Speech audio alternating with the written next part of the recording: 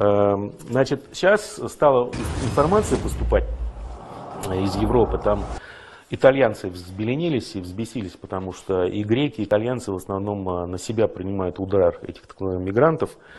Там, значит, полно плавает кораблей так называемых неправительственных организаций, которые помогают и спасают несчастным беженцам. Прям помогают и спасают. Теперь, значит, спецслужбы Италии говорят, ребят, ну что вы нам тут гоните? Эти ребята, они посредники. Они еще бабло на этом зарабатывают. И за всем за этим стоит никто иной, как Сорос.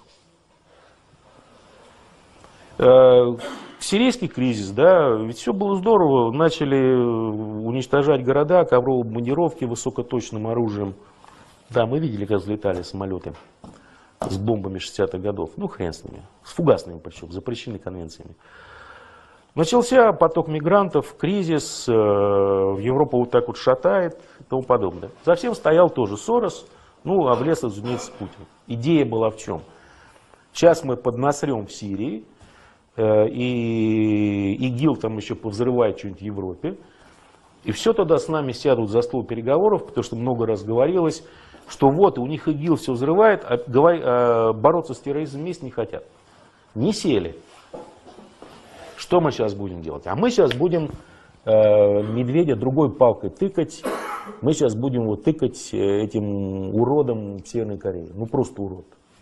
Э, как он там расстреливает людей, генерал всех остальных из... Ну, дебил, вырождение рода. Но что-то тыкают, тыкают, ни пиндосы, ни европейцы не покупаются, а угрожают чуть ли там стереть в порошок вообще этого урода. И тут, значит, урод взрывает большой девайс, да, очень большой, потому что, вот смотрите, нам говорят, что там было 80-100 килотонн. Ну, официальная версия. Значит, смотрим. А, и в то же время говорят, что землетрясение было магнитудой, магнитуда 6,3 по Рихтеру. Ну, вообще полно табличек, которые сравнивают магнитуду и количество высвобождаемой энергии тех же килотоннах. Ну, конечно, это все оценочные, геологические суждения, бла-бла-бла. Но 6,3 это мегатонны, а не килотонны.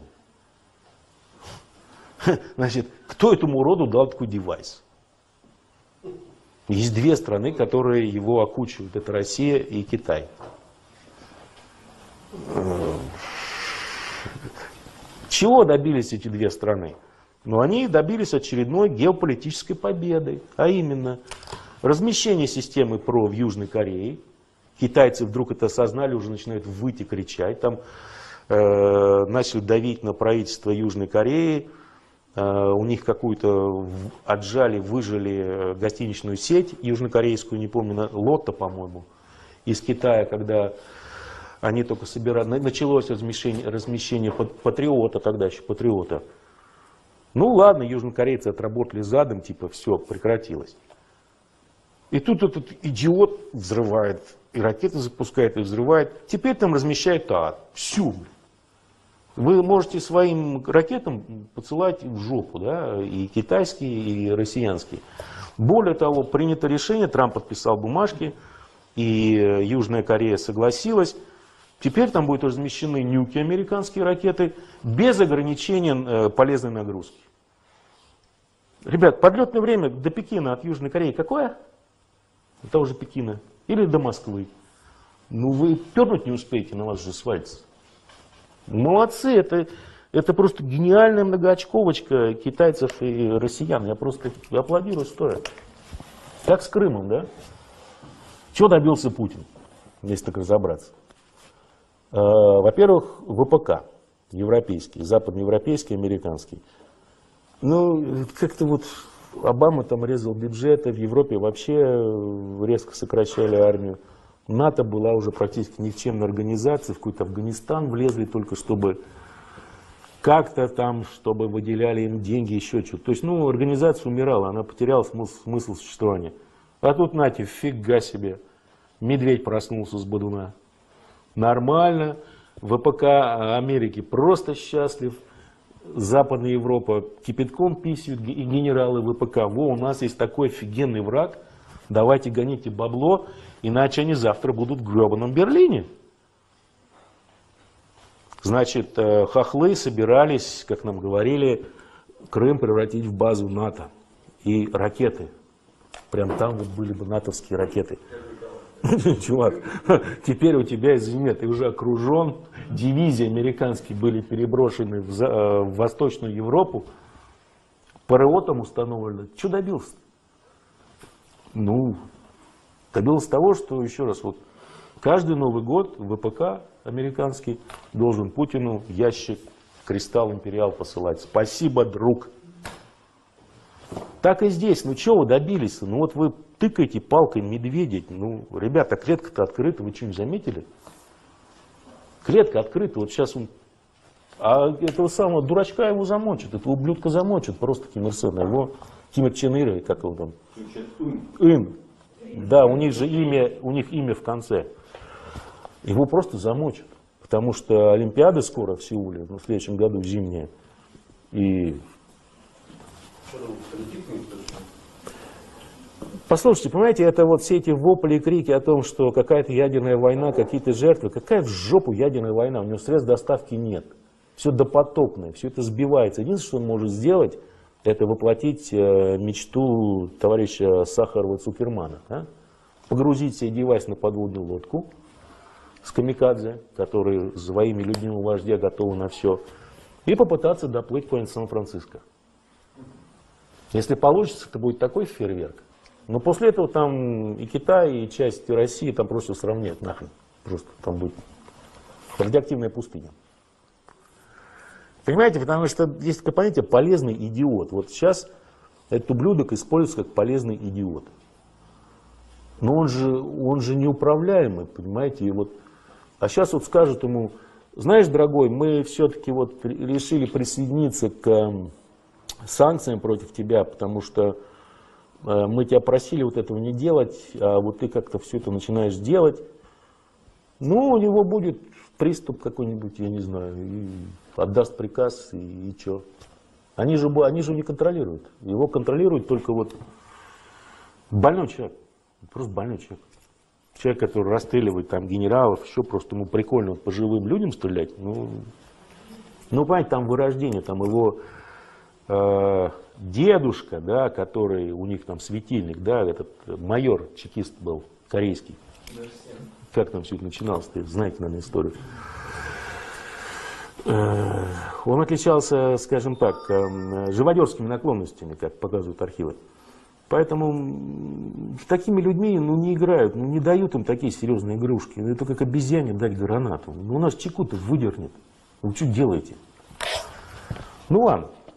Э, страшно вообще, не то, что страшно, хорошо, что мы живем в европейской части, здесь точно бомбить ничего не будет, потому что все унесет на Западную Европу, не при. А там, фу, если вот он что-то сделает, вот, его просто сотрут в порошок. И никто ничего по этому поводу сделать не может, потому что американская армада, это, это страшная армада, это во-первых, армия, которая постоянно тренируется на чем-то, они постоянно воюют. Во-вторых, э, просто технологическое превосходство, его тяжело, эм, его даже тяжело объяснить. Ну, ну вот, э, хорошо, вот э, в 1982 году израильтяне, ну, американцы, да, скажем так, ну, они сильно помогали израильтянам, Э, они за два дня уничтожили э, советское ПВО и советский ВВС, сирийский ВВС, да? за два дня, потеряв, по-моему, один фантом. Это первое в истории применение беспилотников. Все было уничтожено. Как нам говорят, э, ну, потому что там, мол, сирийцы сидели, тупые, да? а вот если бы наши спецы, не надо, там сидели наши спецы, все было уничтожено. Практически Сирия потеряла все, что было дислоцировано, э, все дивизионы ПВО, которые были дислоцированы в Ливане, они были уничтожены. Все. С того, с того времени, как мы видим, эм, наша наука, технология, промышленность, они деградировали. Ну, какие-то наработки еще вот протворялись в жизнь, но деградация. Там же, ну, там вообще все шло вперед сильными шагами. Единственное, что, возможно, как-то сейчас все сдерживает американцев, это те намеки на то, что, возможно, их систему GPS, систему GPS взломали. А, потому что были сообщения о том, что э, в Черном море, около берегов Геленджика, э, несколько сухогрузов вдруг себя обнаружили в аэропорту. Там, по-моему, 10 километров от, от береговой линии. Ну, это как около Кремля едете, вы вдруг оказываетесь во Внуково. То же самое. Ну, тут GPS взломан. Но это-то гражданский GPS, а те-то суда пользуются, правда, тоже гражданским. Ну, не знаю, вот, может быть, это их останавливает, черт его знает. Но, с другой стороны, дело в том, что у них все бяки-кулебяки, они еще работают на гироскопах тоже. Там головка стоят гироскопические платформы. Ладно, не будем о грустном, потому что все это может закончиться, не скажем так, не каким-то глобальной войной, никакой глобальной войны не будет, потому что все будет закончиться очень быстро. Еще раз говорю, технологическое превосходство, оно ну, просто дикое. Эм, китайцы тоже, ну все эти разговоры о китайской армии, да, она, они тратят огромные деньги на свою армию, да, там новое вооружение, новая система вооружения, постоянное учение, хорошее, все, все обученные якобы и хорошо экипированы. Но ну, мы помним эти разговоры про непобедимую легендарную тоже. Да? Когда перед развалом Совка, а потом что творилось в Грозном и что творилось в Чечне в Первую войну. Ар, ар, армия же это что? Это сержанты и генералы. Сержанты могут быть хорошие, а вот с генералами, я думаю, что у китайцев проблемы тоже, потому что у них общество такое же, как совок. Ладно, не будем заниматься геостратегией, бесполезно. Потом Понимаете, у китайцев есть эм, одна такая проблема большая. И по жизни, и вообще.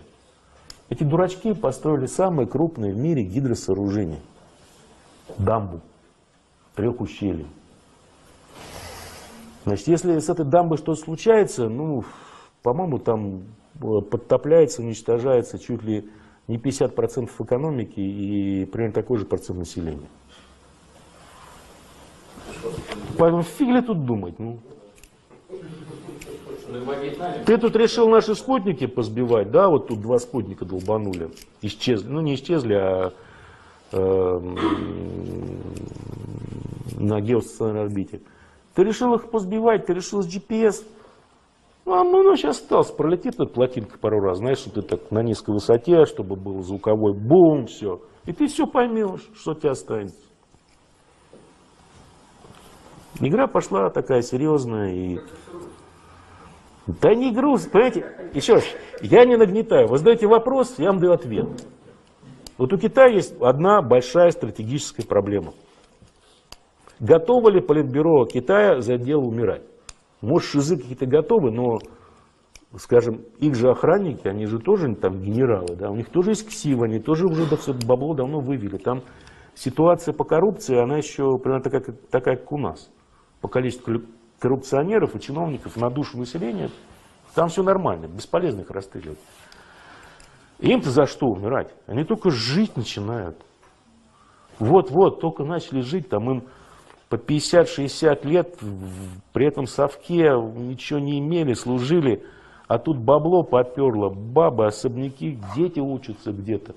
За что умирать? За эти, этих старых пердунов? Да ну нахрен лучше пристрелю. Ну, везде же люди, понимаете, фанатов-то не осталось. Так и посмотрите на генералов этого Северной Кореи. Ну, там же, я не знаю, ну, из них песок сыпется. Ну вот, э, одно дело индоктринированный народ, да, но ведь есть еще прослойка, которая обслуживает верхушку. И там у них уже начинают внедряться рыночные отношения, там уже все нормально, там все как в совке, да. Одно дело официоз, другое дело реальность. Им за что умирать? Вот этим, вот этой вот прослойки, которая, грубо говоря, обслуживает и охраняет. Не за что. И там, я думаю, уже давно стоит вопрос, а, собственно говоря, кто примет правильное решение, того будет иммунитет. И все блага.